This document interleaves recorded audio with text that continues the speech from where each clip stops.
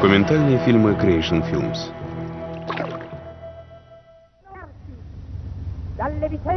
Построить корабль можно за три года. Чтобы заложить традицию, нужны три века. Британский адмирал Эндрю Каннингем.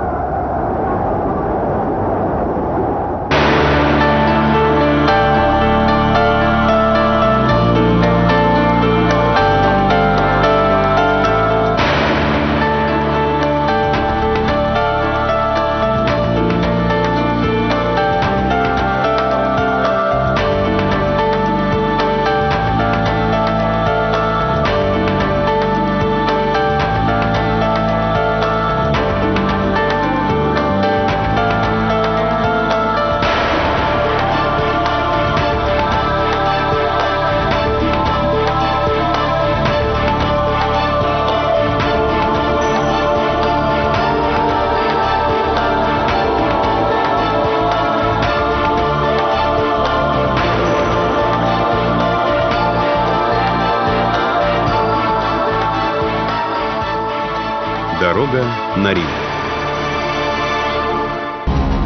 Эпизод 4. Крит. Часть первая. Крит готовится.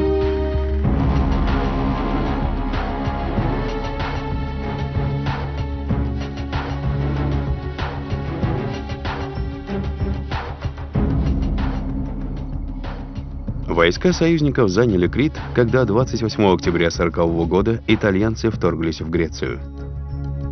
И хотя первоначально агрессоры были отброшены, последующая интервенция со стороны немцев вынудила пятитысячные войска союзников покинуть материковую часть страны на судах Королевского военно-морского флота. Однако часть сил была переброшена на Крит в качестве подкрепления 14-тысячного британского гарнизона – Позднее Черчилль написал в своей книге, посвященной Второй мировой войне, «Потерять Крит лишь потому, что у нас не хватает сил, было бы преступлением». В самом начале битвы союзники имели численное превосходство, в том числе и на море. Зато у немцев было превосходство в воздухе и большая мобильность, что позволило им действовать более эффективно. 30 апреля 1941 года командовать войсками англичан на Крите был назначен новозеландский офицер – генерал-майор Бернард Фрейберг. В мае остров обороняли примерно 9 тысяч греков, а также войска союзников.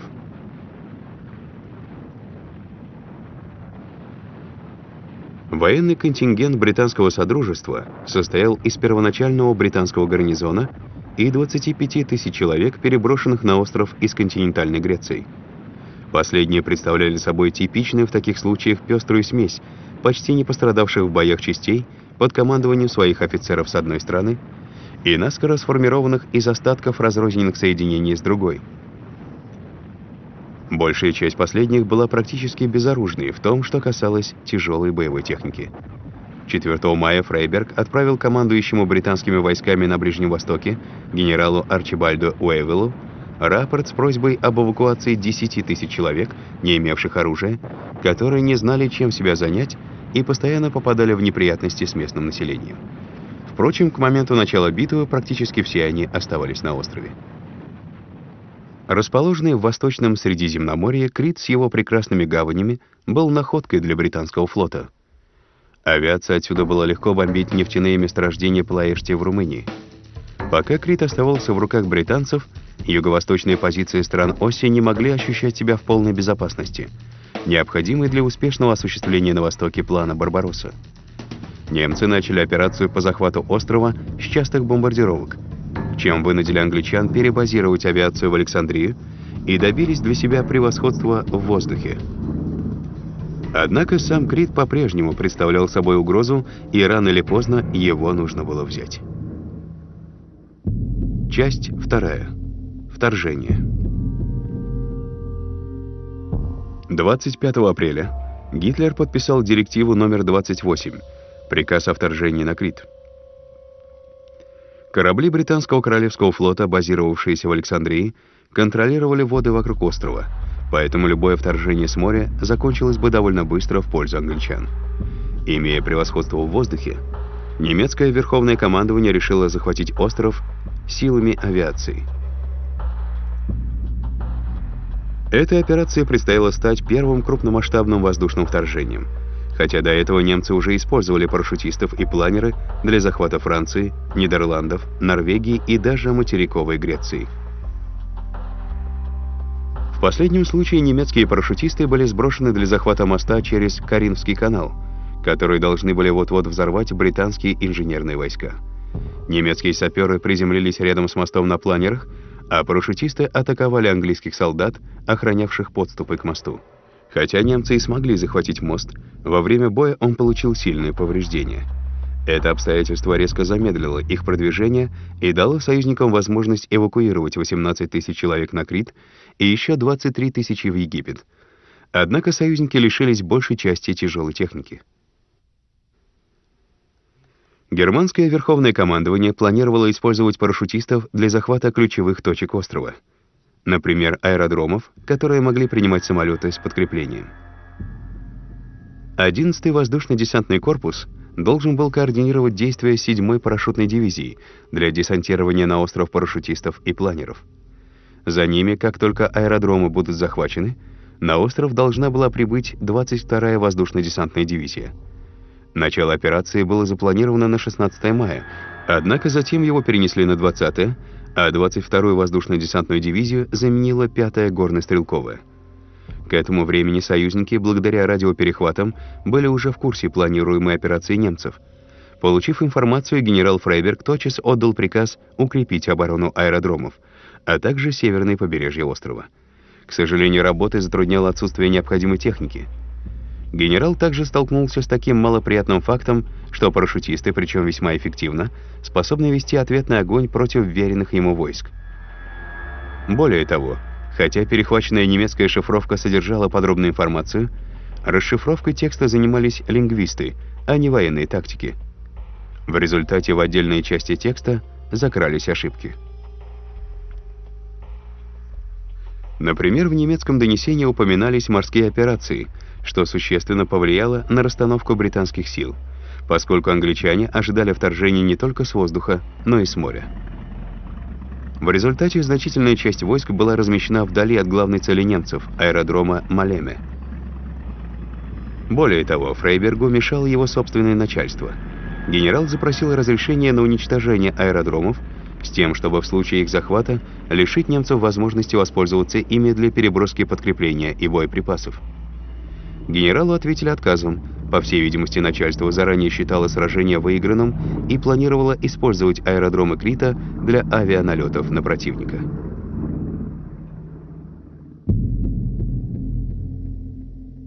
Часть третья. Воздушная атака. Среди немецкого верховного командования было немало разногласий по поводу плана захвата Крита. И хотя все соглашались с тем, что главная цель операции — захват Малеме, вопрос концентрации сил вызвал горячие споры, равно как и их численность для захвата двух других аэродромов — в Ираклионе и Ретемнине. Командующий Люфтваффе генерал Александр Лёр и командир военно-морских сил адмирал Карл Георг Шустер — настаивали на том, чтобы основные силы были брошены на Малеме. В отличие от них, генерал-майор Курт фон Штудент хотел, чтобы веренные ему парашютисты были сброшены на большей территории, ибо это позволяло полнее задействовать эффект внезапности. В качестве главной цели Малеме имел ряд преимуществ. Это был самый крупный на острове аэродром, способный принимать тяжелые транспортные самолеты – он также располагался близко к материку, обеспечивая защиту от истребителей Фоке-Вульф и по соседству с северным побережьем, что давало возможность быстро перебрасывать подкрепления, прибывшие морским путем. Компромиссное решение предложил Герман Геринг, и окончательный вариант плана делал упор на захвате Малеме, однако предусматривал также захват и других второстепенных целей. Этот окончательный план получил в честь римского бога кодовое название «Меркурий». Немецкие войска были поделены на три боевые группы – центральную, западную и восточную. Всего в операции предполагалось задействовать 750 планеров, 10 тысяч парашютистов, 5 тысяч горных стрелков, которых доставят по воздуху, и еще 7 тысяч морем. Самой многочисленной была западная группа. Немцы планировали сбросить на вражеские аэродромы относительно небольшое число парашютистов – силами которых предполагалось захватить периметр взлетного поля и зенитное орудие, с тем, чтобы на планерах там высадилась более крупная группировка. Фрейберг был в курсе их планов, особенно изучив действия немцев за предыдущий год, и потому хотел сделать аэродромы неприступными при высадке вражеского десанта. К сожалению, над ним стояло начальство в Александрии, которое пребывало в уверенности, что немецкая высадка на острове обречена на провал, и потому желало сохранить аэродромы в целости, чтобы туда могли вернуться самолеты британских ВВС. Это решение многие считают роковой ошибкой. Так это или нет, сказать трудно. Немцы сумели перебросить на остров подкрепления, даже не имея в своем распоряжении целых аэродромов. Один немецкий пилот совершил жесткую посадку прямо на берегу, в то время как другие, сев на пустые поля, быстро выгружали снаряжение и вновь взмывали в воздух. Поскольку немцы ради победы были готовы пожертвовать транспортными самолетами, то неясно, изменило бы что-нибудь уничтожение англичанами взлетно-посадочных полос – Планеры не предполагалось снова поднимать в воздух, и в результате их пилоты при посадке шли даже на больший риск. В 8 часов утра 20 мая немецкие парашютисты высадились рядом с аэродромом Малеме и городом Ханья. Аэродром и прилегающую к нему территорию обороняли 21-й, 22-й и 23-й новозеландские батальоны. Уже в первые часы вторжения немцы понесли тяжелые потери. Так, например, одна рота 3-го батальона 1-го десантного полка потеряла 112 человек из 126. В первый же день операции из 600 человек батальона погибли 400. В этой первой волне вторжения большая часть немцев стала жертвой сил союзников, оборонявших аэродром Маляме и город Ханья. Многие планеры были сбиты огнем зениток уже в первые секунды – Тех же, кому повезло приземлиться, десятками косили из автоматов и пулеметов греки и англичане. Какую-то часть парашютистов отнесло в сторону, что случается довольно часто, и они заняли оборонительные позиции к западу от аэродрома Малеме и тюремной долины в районе Хани. Хотя парашютисты и планеристы не смогли захватить аэродромы, они, тем не менее, сумели высадиться на острове и потому представляли серьезную угрозу для его защитников – для борьбы с ними были задействованы отряды греческой полиции, первый греческий полк, а также местное население. Например, в районе Кастелли их силами удалось обезвредить немецкий 95-й горно-стрелковый батальон. Тем временем 8-й греческий полк и части критских войск существенно замедлили продвижение 95-го разведбатальона на Калимбаре и Палеохору, где могли совершить потенциальную высадку части союзников из Северной Африки. Часть четвертая. Бегство.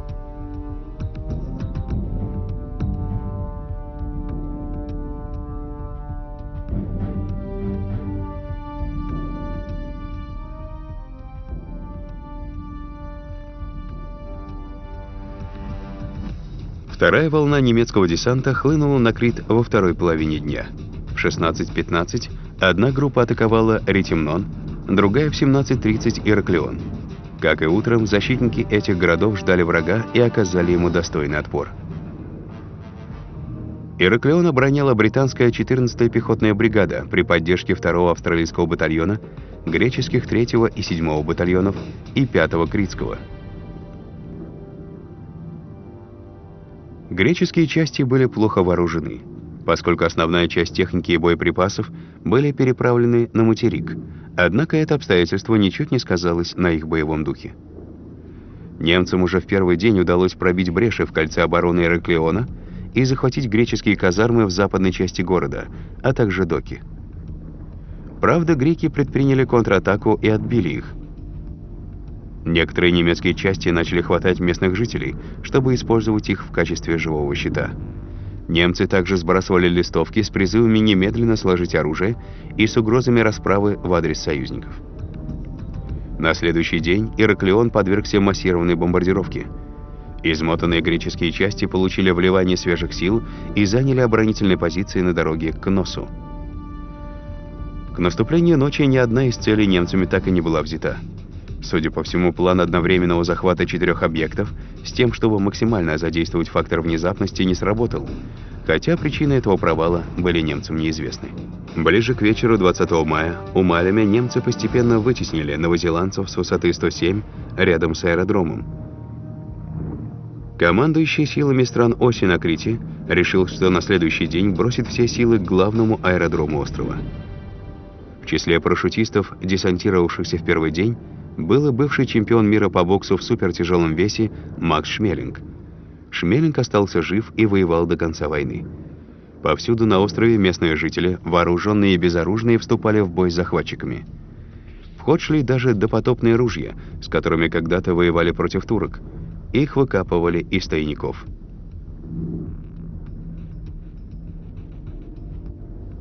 Если не было ружей, то жители Крита шли в бой, вооружившись кухонными ножами и сельскохозяйственным инвентарем. Ни один десяток немецких парашютистов нашел свою смерть от ножа или дубинки где-нибудь посреди оливковой рощи.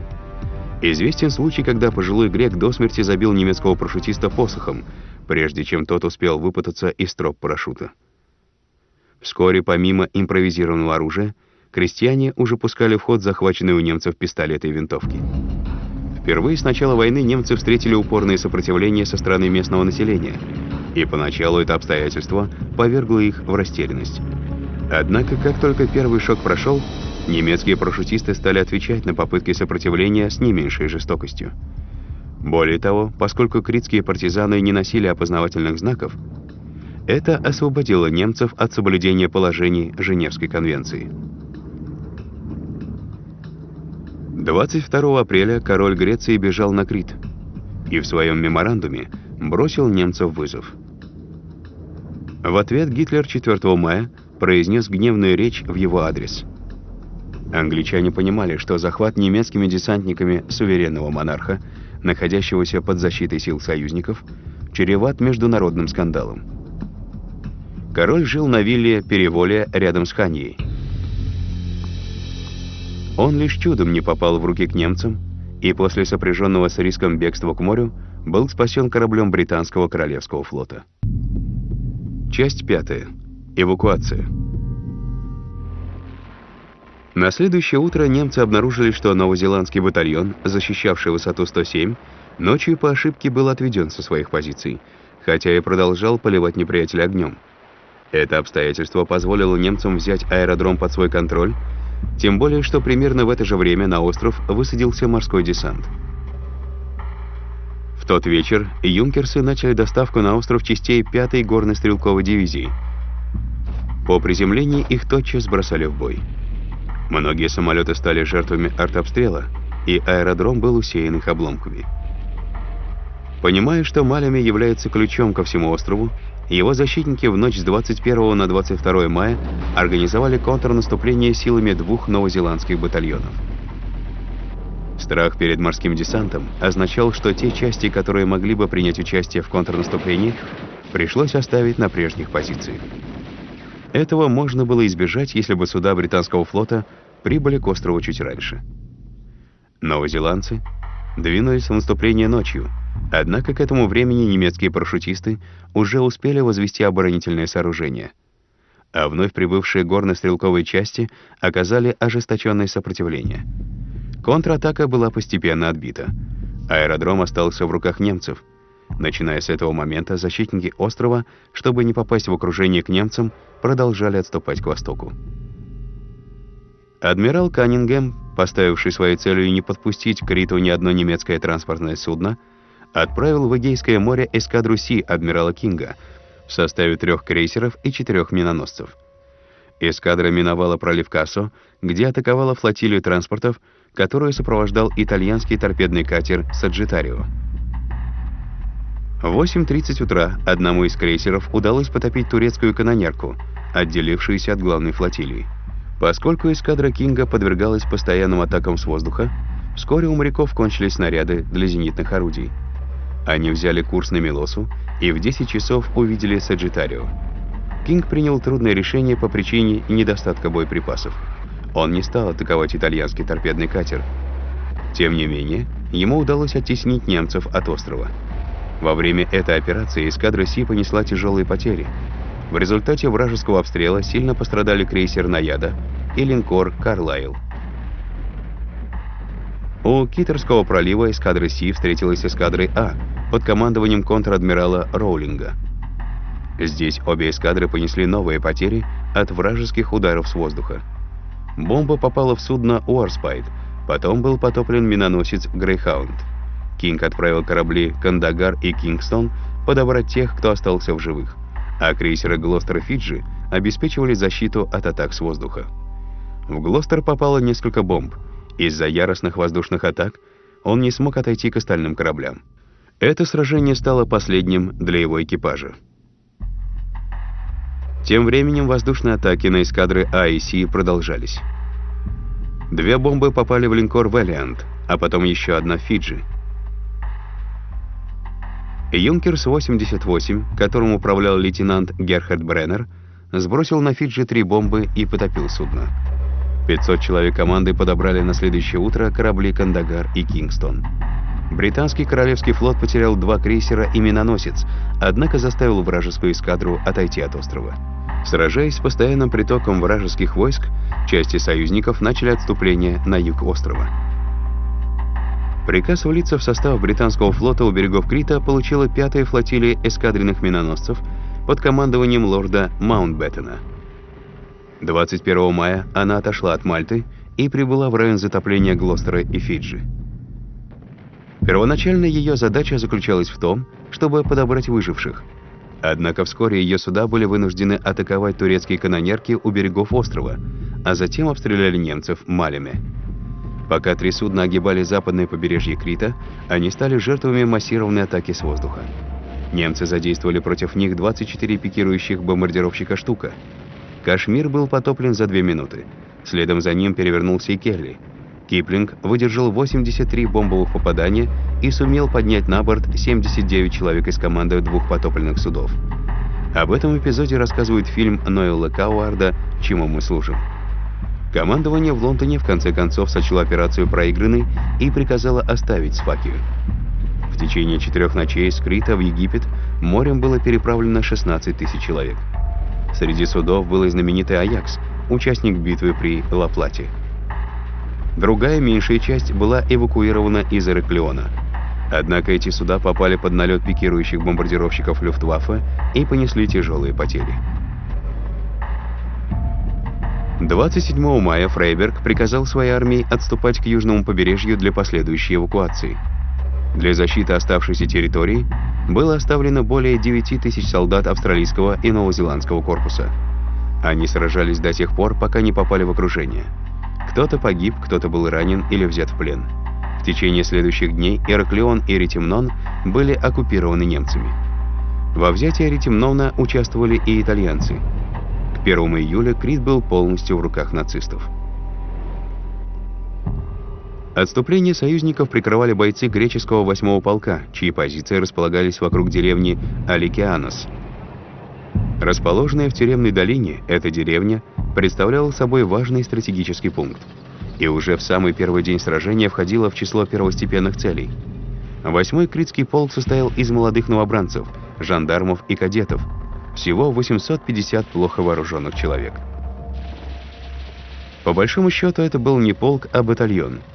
Приписанный к новозеландской 10-й пехотной бригаде под командованием подполковника Говарда Киппенберга, в глазах британских офицеров они не представляли особой боевой ценности – Однако своим героизмом греки доказали их неправоту.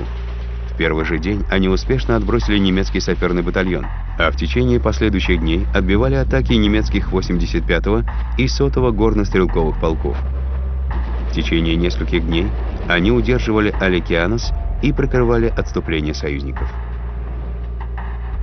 Немцы неуклонно теснили защитников острова на юг, поливая их огнем с воздуха и наземных орудий после чего хлынули волны мотоциклистов и горных стрелков. Горный рельеф местности не давал возможности задействовать танки. Гарнизоны в Суда и Британии постепенно отступали вдоль дороги на Вицелакумыс, чуть севернее Сфакии. Примерно на полпути, возле деревни Аскифу расположен огромный кратер под названием Блюдце. Это единственное относительно открытое и плоское место в горной местности – куда можно было высадить многочисленный десант. С тем, чтобы воспрепятствовать высадке, по его периметру проходили позиции союзников. В деревне Стилос новозеландская 5-я бригада и австралийские 2 и 7 батальоны сдерживали натиск немецкого горно-стрелкового батальона, который пытался обойти их с флангов. Увы, не имея поддержки с воздуха и со стороны артиллерии, оба батальона союзников были вынуждены отступить. Даже несмотря на свое численное превосходство. Правда, на их счастье, немецкие авиационные части были сосредоточены в районе Ретимнона и Ираклиона, что дало им возможность отступить без потерь еще засветло. Отступление бригады прикрывали две роты 28-го батальона Маори под командованием капитана Ранги Ройла. Солдаты Ройла уже продемонстрировали мужество в штыковой атаке утром 27 мая, когда бойцы австралийских 7 и 9 батальонов удерживали так называемую 42-ю улицу, участок дороги между Судой и Ханьей, которому угрожал немецкий 141-й горно-стрелковый полк. Батальоны маори и австралийцев атаковали позиции первого батальона 141-го горно-стрелкового полка и приостановили продвижение немцев. Когда же основная часть сил отошла на безопасное расстояние, маори с боями отступили на 38 километров, потеряв при этом лишь одного бойца убитым и 8 ранеными. Причем раненых удалось вынести с поля боя. У союзников отойти не смог лишь один британский отряд ополченцев. Его перебросили на Крит через Факию, когда все еще существовала надежда, что соотношение сил можно изменить, если перебросить на остров крупное пополнение из Египта. Соединение численностью в батальон поделили на отряды по 200 человек в каждом. Одним таким отрядом командовал Роберт Лейкок, который находился в суде для того, чтобы прикрывать отступление более мощных частей. Бойцы Лейкока действовали при поддержке трех британских танков и бойцов 20-й противовоздушной батареи, оборонявший порт Суды. Артиллеристы отказывались верить, что генерал отдал приказ о всеобщем отступлении. Лейкок принял решение под покровом ночи отойти к соседней Беретиане. Здесь к нему присоединились капитан Ройл и Маори, которые заняли раздельные оборонительные позиции, но в конце концов были вынуждены отойти с боем. Лейкок и его отряд оказались отрезанными превосходящими силами противника возле деревни Бабалихани. Под непрерывной бомбежкой немецких пикирующих бомбардировщиков они не смогли никуда отступить. Лейкок и его майор, писатель Ивлин Во, сумели бежать, пробившись сквозь немецкие позиции на танке. Большинство других бойцов отряда и их товарищи из 20-й батареи либо погибли, либо попали в плен. Во время эвакуации адмирал Эндрю Каннингем был готов сделать все для того, чтобы флот не подвел армию. Когда же армейские офицеры высказали ему свои опасения, что он потеряет слишком много кораблей, Каннингем ответил, что построить корабль можно за три года, а чтобы изложить традицию, нужно три века. Майор Алистер Гамильтон, ротный командир Черной Стражи, заявил, «Мы покинем Крит лишь тогда, когда на горе Ида исчезнет снег». Сам Гамильтон острова так и не покинул. Он был убит снарядом. Его солдаты получили приказ отступить и были вынуждены подчиниться. Всеобщее мнение было таково. Англичане подводят своих греческих союзников. И хотя большая часть тяжелой техники англичан была уничтожена, чтобы не попасть в руки врагу, солдаты отдавали свои оружие и боеприпасы местным жителям, которые оставались в одиночку сражаться с немцами. Тем временем полковник Кэмпбелл, командир группировки, сражавшийся под Ираклионом, был вынужден сдаться. Ретимнон также пал, а в ночь на 30 мая немецкие мотострелковые части соединились с итальянскими, которые высадились в тот же день в заливе Мирабелла. Итальянский командир гарнизона Додеканесских островов предлагал задействовать своих солдат еще 21 мая, однако эта просьба должна была получить одобрение Геринга. В конце концов, когда стало ясно, что операция идет гораздо медленнее, чем предполагалось, Геринг дал добро. 1 июня оставшиеся 5000 защитников Сфакии сложили оружие, хотя многие уже успели уйти в горы, и в течение нескольких лет не давали немцам покоя своими дерзкими вылазками. К 41 году на острове оставалось около 500 солдат британского Содружества, не говоря уже о греках, которые легко смешались с местным населением. Командующие войсками союзников опасались, что немцы воспользуются Критом в качестве трамплина для дальнейших действий в Средиземноморье, например, для морского вторжения в Египет с целью оказания поддержки силам стран оси в Ливии. Однако эти страхи были забыты с началом операции «Барбаросса», когда стало ясно, что немецкие операции на юге носят в основном оборонительный характер. Потери среди немецких парашютистов были огромны, и Германия была вынуждена пересмотреть свою воздушную доктрину. В результате использование парашютистов в России носило лишь ограниченный характер. Если принять во внимание слабую оборону аэродромов и плохо налаженную связь, парашютисты в России могли стать весьма эффективным средством, и отказ от их использования был своего рода шагом назад. Зато использование парашютистов на Крите произвело на союзников внушительное впечатление. А поскольку немецкие потери от союзников скрывались, те решили создать собственные воздушно-десантные войска. Согласно официальным данным, немцы потеряли 6453 человека убитыми, ранеными и пленными. Однако, по всей видимости, потери были гораздо выше. Союзники потеряли 3500 человек, из них 1751 человека убитыми и столько же ранеными. Огромное число попало в плен – 12 254 солдата сил британского Содружества и 5255 греков. Потери британского королевского флота составили 1828 погибшими и 183 ранеными. Под перекрестным огнем и в партизанских боях погибло также значительное число местного населения. Многие были расстреляны немцами в ходе карательных операций, как во время сражения, так и после. Согласно одному из критских источников, человеческие потери среди мирных жителей составили 6593 мужчины 1113 женщин и 859 детей. Потери Крита, в частности, вследствие того, что британские сухопутные войска недооценили важность аэродромов, стало сигналом тревоги для правительства Великобритании. В частности, Королевскому воздушному флоту было поручено оборонять собственные базы от наземных и воздушных атак. С этой целью 1 февраля 1942 года был сформирован специальный полк британских королевских военно-воздушных сил. Несмотря на полученные уроки, Крит стал горьким поражением для британской армии. И теперь англичане горели желанием отомстить.